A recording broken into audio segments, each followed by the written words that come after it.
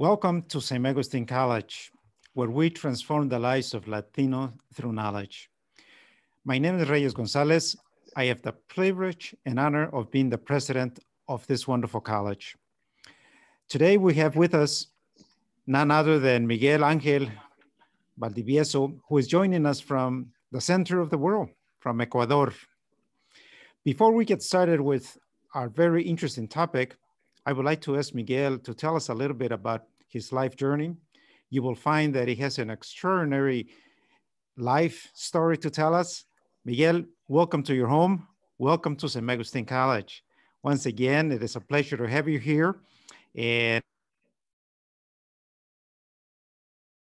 started with our main topic. Thank you. Okay. Thank you very much. I would like to thank you and Dr. Hill and Rafael for his technical assistance. It is for me a pleasure to be here to be part of this series. Um, yes, Chicago is my second home. And uh, so it, it, it is a pleasure, a special occasion for me to, to share some with you. I don't think I have a big story to tell. Mine is very similar to thousands of people that go to this day looking for a better future. I left Guayaquil when I was 17 and I arrived at a small industrial town north of Boston called Lawrence, Lawrence, Massachusetts. I did my junior, sophomore and junior years there. And since I did not have money to buy a car, I did all my everyday life was walking. I live two blocks away from school and 10 blocks away from my working place, which was a hospital. And then at night, when I left the hospital, I needed to walk about 20 blocks to find a Burger King place. So that was my meal a double Whopper with cheese, fries, and a large strawberry. Then I moved to Chicago to go to school, to go to college there. And I think I was lucky to enter Northeastern, a small school in which I found excellent teachers, excellent friends. Teachers were demanding, but at the end of the day, whatever they did for us was to give us their best. Uh, I live and work in Chicago. And then I came back to Guayaquil and worked for RJ Reynolds Company, a tobacco company that at the beginning, the job opening they had was in Quito. So I told my parents that uh, I had the job offer and my parents said, well, that's great. You can visit us now from Quito to Guayaquil. But two weeks before coming to, Guayaquil, to Ecuador, the company called me and said, we have a small changes. The job will be in Guayaquil, not in Quito, Guayaquil. And they sent me a picture of the city. So, and they gave me a salary increase before even started. I got a salary increase. They never asked me where I was coming from. All they wanted was someone graduating business or economics, bilingual, willing and able to travel. So a professor of mine, the one who gave me hard time from first day at school, showed me that ad and said, Miguel, this is you. So I got the job came here and without having any prior labor experience, I faced a labor strike. It was difficult to handle the union, very strong union back in the 70s. And I did it okay. After a few years, I decided to go back to the state to get a master's degree. I anticipated that there was a need for MBAs, even though I enjoyed studying economics. But the market demanded MBA graduates. So a good friend of mine, Armando Triana, helped me to get into this program. My wife and I live on the north side of Chicago, near Northeastern, and the school was on the south side, Park Forest South. I drove two hours each way, five days a week. But that's it. I wanted to get a degree, and if it took me to drive two hours, well, that's what I need to do. I recall one night, I got to school about 7 p.m. The class ended at 10. But when I got out of the class, the amount of snow that fell on that night covered all the parking area. That night, winter of 78, I think it was, it took me four hours to get home. Mm. I got home about 2 a.m. We didn't have any cell phones, but that was about it. So in the summer of, I graduated in June of 78 with a master's, with an MBA.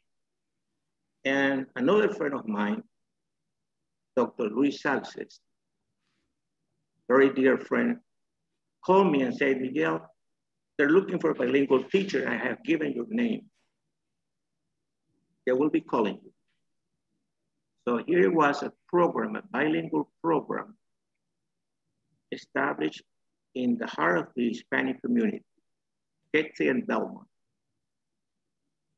I began teaching at a college level in the fall of 1978. And I have not stopped doing that. I really enjoy teaching. So I have worked for Chalmers College, University of South Carolina, Brookdale Community College, and Universidad Espíritu Santo here in Guayaquil. That's about my summer of my life back in the States. Mm. What a beautiful story. And it resonates very much with what uh, many of us that come to this country and that is in search of a better life. And uh, here at San Agustin, we also focus on that and giving an opportunity to the many Latinos that come to this country in search of a better life. I uh, I admire you for you know all the work that you have done for start getting started in uh, in education, giving back to the many Latinos that need an, an opportunity. And also, it seems that uh, you as well as uh, I have a similar a, a similar person that uh, made a difference in our lives, and that was a teacher, a faculty member. That uh, in my case, that they saw um, perhaps something in me that, uh, and they helped me. And it sounds like you also had someone in your life that helped you uh, to become who you are today. And it seems that you have uh, continued that legacy, and you have been fundamental and uh, very critical in the development de la Fundación de, en Ecuador. Yeah, Fundación Ecuador. Yes. yes, indeed. I am very excited to hear about it. Tell us a little bit about its founding and your work and what actually led to you getting involved with uh, this really remarkable work that you're doing at Fundación Ecuador. Well, Fundación Ecuador is a non-for-profit organization, an NGO, created by the Ecuadorian private sector okay? It was created on September 27, 1991. Yes, for celebrating 30 years of institutional life. All of our members come from the private sector. The board of directors are business people who were funded by the USAID agency. They gave us the first step to take off. At the beginning, we were heavily on economic market concept. We want to promote free competition, pure competition, the need to have intellectual property right observed in the country. In fact, we were the institution that helped design the blueprints of what is now the Ecuadorian Institute of Intellectual Property. We work heavily on promoting the country, creating business opportunity, bringing, inviting investors, foreign investors to come here to invest. Back in 1996, we produced a document with the technical assistance of some Chilean economists, the well-known Chicago boys. That document analyzed 12 areas, poverty, education, housing, international trade, public finance, etc. And we worked hard on this document and it was presented to the presidential candidates in 1996.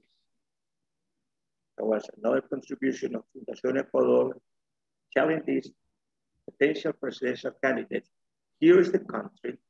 These are 12 critical areas that we have analyzed, and here are some proposals to solve those problems. In the same way, we had a TV program once a week, 30 minutes. And the, the idea, the goal of this program was to broadcast good news, innovative ideas to society. So we invite both public and private leaders to share with us their positive experience. It was in, it was not possible to talk about sad news on that program. Everything has to be positive. That was the idea. So it, it was a, a well-accepted program. Mm -hmm. uh, what else about Fundación Ecuador? We believe our vision is to be a sustainable organization, a benchmark for the unity and sustainable development of Ecuador. An NGO that promotes the unity and development of the country through sustainable and innovative projects. Mm -hmm. Our values are five, liberty, knowledge, solidarity, ethics, and commitment. There was a TV commercial that you bend yourself to help others. We do that. Our everyday activity is to help those that are being left behind. Work oh. heavily on the low income areas. Mm -hmm. Wonderful uh, mission and certainly values. Uh, Miguel, tell me about the uh, the implementation and how the legislators have adapted the 12 uh, critical solutions, let me say, to the uh, uh, uh, to the growth and the viability of Ecuador? Well, like I say, that was back in 1995. Mm-hmm. Some of our recommendations were indeed uh, implemented.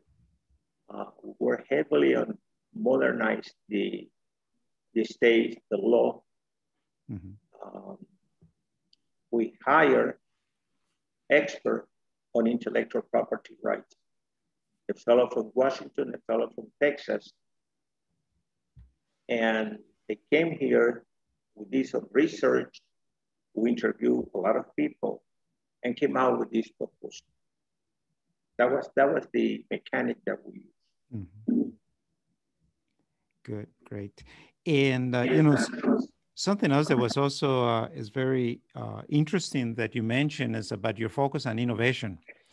Uh, it is not something that uh, people speak a lot about, but I'm, um, you know, it's been several years that you were thinking about it. So you must have been one of the first uh, uh, organizations in Latin America that was thinking about well, innovative ways to help the less fortunate and those people that were being left behind. Yes, back In 2002, Fundación Ecuador was invited by the mayor of that time, Jaime Nebot. Mm -hmm.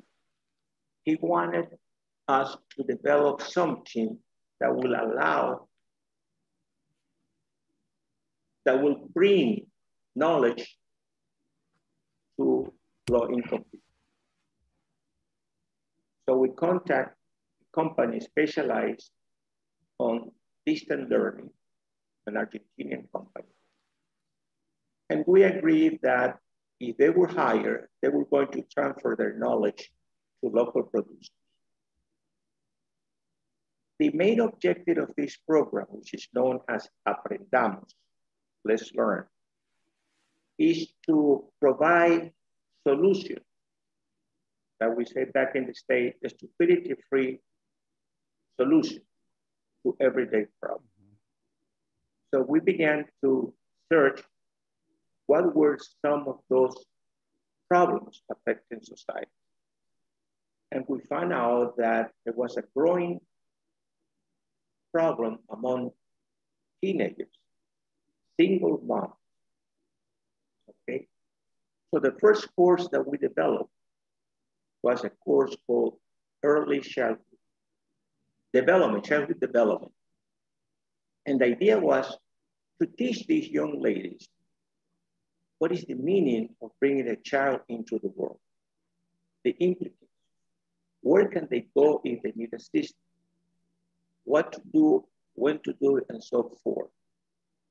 So Aprendamos became the first educational televised system mm -hmm. in Ecuador. Okay. Two years ago, I was invited by the University of Princeton to talk about Aprendamos. Mm-hmm. And they could not believe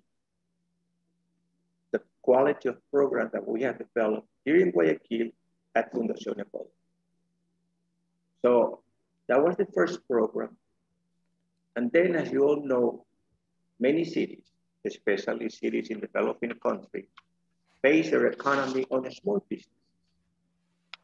So we created a course a Small Business Math we want informal businessmen to be part of the formal environment, to help them how to keep their accounting records, how to keep their business. They were salespeople. They knew mm-hmm. how to mm-hmm. sell, but they need to know the management of whatever they would do. So that was one of the courses. So forth and so on. In Aprendamos, we have produced 25 courses that cover eight areas, family, nutrition, uh, family, health, housing, language, computing, and business. Now, a unique thing of Aprendamos is that the program, without directly inviting others, others want to come and help our. Mm-hmm. We invite the CEO of the local TV station to tell them about what we had in mind. To our surprise, all of them agreed to broadcast up and down on a weekly basis. Mm-hmm. So on Saturdays and Sundays, the two new chapters will come up on air. And then there will be reruns during the week. You might ask, how much did they charge? They did not charge the. And thanks to one of those TV stations, Aprendamos reached the Hispanic community of main cities in the state, like Chicago, Boston, New York, Miami. Okay? So they, they, they saw in Aprendamos a great opportunity to help others. Uh, as you know, there is a communication gap between parents and teenagers. Well, there's a course, Families with Teenagers, in which we emphasize how to handle those problems, mm -hmm. how to solve those differences between teenagers and parents. We also know that people age and somebody has to take care of them. Mm-hmm. We cannot ignore old people. So we came out with a course, a special care for elderly and vulnerable people. Mm-hmm. You know that when you are poor, you think of what can I do to make more money, to improve my life. And most of the time, people wanted to learn English. People believe that by learning English, they can earn more money. It's like a new, a new area for them. So we developed a course, an English course. When the US Embassy knew about it, they call us and offer us teacher, a specialized teacher,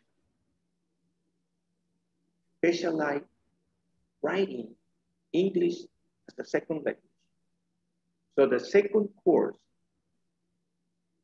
was written by an specialized American teacher who came to Guayaquil and worked with us. Wonderful. And That's the impact of Africa. Yes. You know, a couple of things that that come to mind as I listen to your, you know, to the wonderful work that you're doing is many times the knowledge comes from the United States into our countries, into Latin America and other countries in the around, around the world, because it is believed that much of the knowledge is created here in the United States. But as we see, that is not the case it was knowledge that is coming from Ecuador, from Latin America to the United States, and programs being implemented, implemented here in the United States to solve the needs of Latinos and other organizations in the United States. Yes. Uh, yes the other the other thing that's also very enlightening is that I believe that one of the our biggest duties that we have as human beings is parenting. Mm-hmm. But what's interesting also is that at no at least from where I come from, it is not customary for us to receive courses or instruction or assistance on how to be a good parent. It is just hope in uh, that throughout our life that we obtain that kind of knowledge and experience and values to be a good parent. Yes, yes. So it is also very enlightening that you came up with this idea of helping uh, our people to be good parents. Yes, yes, indeed. And in addition to that, you know, Guayaquil is to Ecuador what Chicago is for the US, you know. There is an area in Chicago called the Uptown area. It's a port of entry. Mm-hmm. It's an area where at least back in the 70s, 80s, newcomers will get there they will get daily jobs, and until they settle down, they will mm-hmm. live there. As a student, one of those demanding professor invited me to go there and teach at the Uptown Center, Northeastern Uptown Center. Mm-hmm. It was called Do Drop In. Well, Guayaquil attracts many people, but many of them do not know what it means to live in a city. So there is a course called Citizenship for All, mm-hmm. in which we tell them, hey, great, the city provides you all kinds of benefits, public transportation, water, electricity, whatever. But you also have some duties that you have to observe. Like don't throw the garbage on the street respect your neighbors, mm-hmm. you know, things like that. It's amazing. One million, almost one million six hundred people directly registered in the 25 upper Aprendamos courses. One million six hundred people. They came Amazing. to our office, came to our office, registered, each course was free, was financed by Guayaquil municipality. Okay. And the mayor used to say, not because it's free, it has to be cheap. So our courses were highly developed. In fact, back in May of 2013, our English course was placed on the iTunes University platform. Mm-hmm. It was the number one course for four months. We beat Harvard. Yes. Aprendamos course was there. That's wonderful. It speaks Another, about the quality of the program. Yes, yes. The team, the, the, the people responsible for were, were demanding, demanding. Mm-hmm. Uh, Marcia Gilbert, Pedro Aguayo, Luis Villacres, they were demanding people. Mm-hmm. And part of our board, part of this Aprendamos team. Mm-hmm. And, uh, que no se diga que solamente excelencia sucede en los Estados Unidos. Excelencia existe en toda Latinoamérica. Yes, yes, indeed. Yes. Um, I told you about my demanding teacher. Dr. Sheldon Russell. The fellow who did not allow me to take Spanish as a foreign language. It happened that he was my student advisor. So when he and I were plan, uh, making my, my plan, and I saw that the school required four years of foreign language, mm-hmm. I say, Dr. Rostan, I'm in for Spanish. And he looked at me and said, over my dead body. you have left your home to come all the way to the Windy City, uh-huh. not to get an easy A, not to improve your GPA. You have to work hard. Okay, so he gave us hard times for the four years of college. Hmm. When I told him that I was going to give a speech at Princeton four or five years ago, no, maybe more, anymore. He asked, he told me, Miguel, give me the date and the room number. But when I gave the speech, there this old man in his mid 80s mm-hmm. on the first floor. The demanding teacher was there. so yes, you, you can do, you can, if you do whatever you do, patience, love, without creating barriers where there's no barriers, you can accomplish this. Yes, uh, I believe that uh, as you do, that we need to uh, help our students to spread their wings and also so that they can grow because it's only through this uh, hard work will we be able to achieve and grow um, and make all of our dreams come true. But I also know that you started other programs in La Fundación uh, about providing books and yes, getting involved. Yes. Okay. So Aprendamos came of life on 2003. Mm-hmm. In 2005, Mayor Nebot say, you know, we need to improve quality of education of the kids in Guayaquil. Mm-hmm. We carry on study with the technical assistant of Research Triangle Institute. And the outcome of that study showed that our kids were way below region average. So we now and search for the books, textbooks available in the market. We gather high quality specialists to help us in the selection process. Came with a program that provides free textbook, grammar, math, and science. Mm. Back in these days, I remember I used to receive the textbook on the first day of class, but at the end of the period, I have to return the book back to the teacher. The mayor say, no, the books will be the kids book. Make sure that the kids have the books. They have to be high quality. So the program began to provide textbooks for elementary school kids in Guayaquil, public schools. Mm. And not only that the kids receive the textbook, teachers receive training and the teachers receive study guides. Well, that was never, never done before. Mm-hmm. So much that the Minister of Education called us and he, he had a meeting with the mayor and asked the mayor how much would it cost him to replicate the program. And Mr. Nebot said, the investment is already made. All you have to do is pay for the printing of it. Mm-hmm. So from 2006 up to date, all the kids in Ecuador receive free textbooks. But the Wonderful. idea came out here in Guayaquil. Yes. That is wonderful.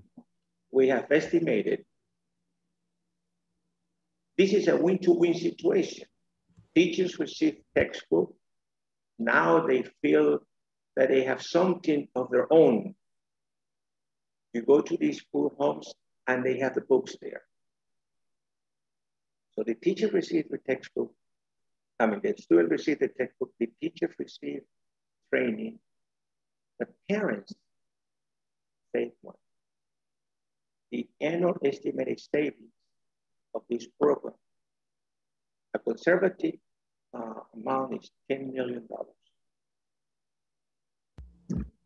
That's the amount of money society is not spending on books. Sure. And you know, you bring up uh, so many good points that are certainly innovative. Uh, you know, we spoke about parenting, but now you also spoke about the training of faculty. Uh, and I think that that is also very critical because I think that um, we can, each of us probably know some just very talented, intelligent, um, hardworking professionals, whether it be economists or historians or physicists, but that doesn't necessarily mean that they have the skills to teach. But you started also teaching faculty so that they would know how to teach our uh, uh, the students. Exactly. Another very innovative uh, idea that uh, you started that is not commonly here that we hear about it. Well, when the Minister of Education mm -hmm. decided to carry on with this program, mm -hmm. we distribute. Ecuador has two hemisphere, four regions, one NGO. Mm -hmm. uh, there is what they call the, the coast region. My schools go school from May to January, more or less. And then the mountain region that starts school like in the States, September, December, all the way. So the first part, the coast region, text would reach students in the Galapagos. Teachers received the training in the Galapagos. They were surprised. Parents could not believe that their kids were holding textbook on the first day of class. Amazing. That, that was the key. High quality textbook approved by the Board of Education, by the mm -hmm. Minister of Education on the first day of class. Yes, that is really remarkable. And, and I know also that you had some um, programs that were dedicated for the youth of the future. Yes. So yes. not only are you innovated, you're futuristic. well, let, let, let, let's, let's, let's discuss this. What happened if you, if you're a low income high school graduate what do you do? You have your high school diploma. But you have to, to get some tools, to get some motivations to keep on going. But that program that you mentioned emphasized competition among high school students. Hear me out. The best high school graduate among public schools will receive a house. Yes. Wow. Okay. Now, it is not a six bedroom apartment, a house. No, no, no. but a house, a decent house. Sure. To the first high school graduate. Then the program provides electronic equipment for those whose grades are below the first one, and then monthly passes. So all in all, every year, you have this competition. Let's say that you were uh, in 10th grade and you receive, because of your grade, you receive a computer. On the 11th grade, because of your grade, you receive another computer. It's fine. But on the 12th, if you happen to be the number one student in your school, you receive that. It's remarkable. Yes. Yeah. And, and you know something? We, Fundación Ecuador, designed the program, monitor the program, but who gave us the students' grade were the school principal. Hmm. I can see it in, in your expressions how important this program is to you. Well, yes, because here is the, result, the result of an effort. It's a family effort. You go back home and your parents help you set up a nice studying mm-hmm. environment so you can do well. And your teachers, the school principal will say, you are the number one student mm-hmm. in my school. The program start provided all these benefits, and suddenly an academy that teach mm-hmm. French say, we would like to chip in and we want to provide free scholarship to those who want to learn French. That's great. I'm going to ask you a question that I think that each of us have our own perspectives, but I would like to hear yours. Why is it important for us to help the less fortunate, the poor, the, the ones that do not have a voice? Why it is important to help them? Yes. Very simple. I am sure that you want to go to sleep and you want to wake up knowing that you have done your best. Mm-hmm. How can a person be happy if that person is surrounded by all negative externalities? When you walk down Guayaquil, the low income areas, and you see people begging, when they tell you that their roof is the sky, mm. that they sleep on the grass, can't be happy. They have to give back to society what society has given. That's it. That, that is what really motivates us in Fundación Ecuador. Mm-hmm. When we began the, the free textbook program, a lady came to the mayor and said, Mayor, now I can send my five kids to school. Because before that, she had to pick up one because she did not have the money to buy textbook and school supply mm-hmm. for all the other kids. Yes. that pays off. When, when the kids receive the, the, the, the computers, the laptops, I mean, now they have a, a tool mm-hmm. that can help them. Either to yes. enter college, to create their own business, to do something. Yes. You know, we started our conversation by you saying that you came to United States in search of a better life. And I can attest on um, based on what you're I'm hearing from you that you are creating and helping the Ecuadorians for a better life at home without having to travel 4,000 miles? I would say Fundación Ecuador. We're a small NGO, but all of us have the same behavior, from the board president down to, yeah, we're here to help. We're here to guide, to extend our hand to those that are left behind. We really do that. And you're doing it very well. Um, I see the emblem of Fundación right behind you. Yes. Three colors, three. Uh, can you tell me about it? There must be some very important significance. No, no, no. this is what we call flor de lis, the Boy Scouts. Okay. Yeah. And these are the colors of our flag. That's yellow, wonderful. blue, and red. And Right. it has been like that 30 years ago. Some people say, why don't you modernize your, your, your name? No, stay like that. That's what it Love is. it way. Yes. You're going to celebrate your tradition and you're starting. We have began the celebration today by you inviting me to this series. Mhm. I told the board members, I say, we began our celebration today. That's great. Great. Yes, sir. Yeah, you know the. It was uh, some of us. It was not until less a year or maybe a year and a half when COVID came around that we started thinking about digital education. But we were thinking about this even before some of us ver, were, were thinking about Right. it. Okay, Ecuador faced a financial crisis. I think was about 2000. Many people got, many families got broke. Many people left the country. Okay, many went to the US, many went to Europe. But part of the family remained here. Mhm.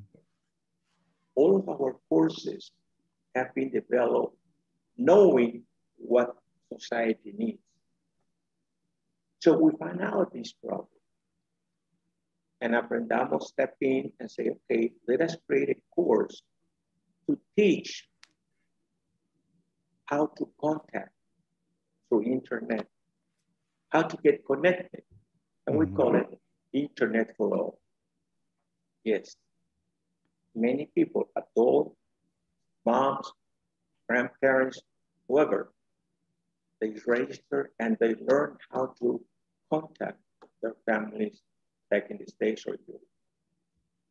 And once they knew that, once they were more familiar, we developed a course to create business through digital, what we call digital computing. Futuristic. Well, that's what we try to do. Uh-huh. That's what we try to do. Yeah, Yes. some of the words that I would use to describe uh, um, describe your organization, you and as a person, as innovative, creative, futuristic, compassionate, and doing for others what others have done for you. Yes. Um, the Mhm. right now we're thinking. We have worked with elementary school, high school kids. Have helped them to, if you finish high school, you have three options. Either you go on into college, you go work, or you want to create your own small business. And that's fine, we have helped them. But now we're thinking of what happened to that segment from newborn to five. That's an area that we have to investigate. That's an area that we need to call on partners Mhm. to invest in that area and to teach nutrition, health, education, housing. You know, we have a, a mutual friend that his name is uh, Jose Sanchez that describes what you're describing as health equity, which in, in his mind involves obviously health, education, housing, addressing poverty, and all of the needs of our of our society that you're describing as well. Yes, yes. We have began to think in that direction. We're knocking on doors, trying to obtain partners to help us do research and eventually come up with a pilot project. Yes, but I also uh, realize that this doesn't come without any a lot of work, and that you have also been working in providing scholarships for our stu- for your students to continue their education. A ver, that's another program. We one night we asked, what happened to those kids who have lost father, and mother, or both? What happened to their education? Would the life end there? So we came out with this scholarship program. If you lost one of your parents, the widow will come to our office, register, and this program will guarantee school supply, monthly passes, and some financial aid until you graduate from high school. It is sad when you see these kids that they have lost their parents, but it's very rewarding knowing that you are helping them. 1,500 kids so far have benefited from that program, which began in 2012. That's wonderful. You know what? I, we could certainly learn so much from the innovative solutions and initiatives that you have implemented in Ecuador. We need to make uh, implement some of those initiatives here in in, in our great city.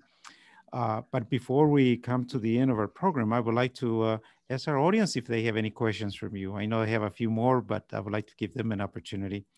So, Rafael, do we have any uh, uh, extending an opportunity to our audience to ask uh, Miguel questions? Um, yeah, uh, we have one question here. San Agustin College is expanding horizon overseas based on partnerships. We believe that Latin American countries and institutions have a lot to offer and great opportunities of exchanges. Why Fundación Ecuador could be a good partner for San Agustin College? Sure. Well, we welcome that idea. In fact, there is a small community college in Lincroft, New Jersey. The name of this college is Brookdale Community College. Was the first community college with a foreign extension program here in Guayaquil. And as a Fundación Ecuador, we help them to establish it. Mm -hmm. Yes. Uh, and as uh, perhaps uh, Dr. Gil Garcia might have mentioned to you, one of our initiatives is to prov uh, provide opportunities to students in Latin America for dual degrees or just participating and um, learning from the United States and we can learn from them as well.